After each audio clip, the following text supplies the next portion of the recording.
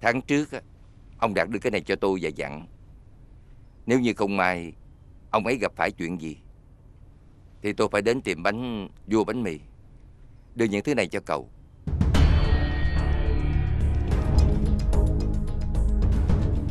Không lẽ ba con? Ông Đạt đang bị tai biến Vẫn còn hôn mê Đang nằm trong bệnh viện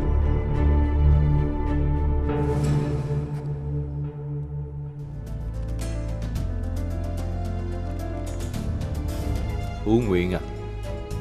Nếu có chuyện gì xảy ra với ba, Thì người duy nhất có thể thay thế ba, Đó chính là con. Toàn bộ cổ phần và tài sản của ba đứng tên Sẽ được sang tên hết cho con. Ba mong con hãy giúp ba giữ vững công ty Thành Phát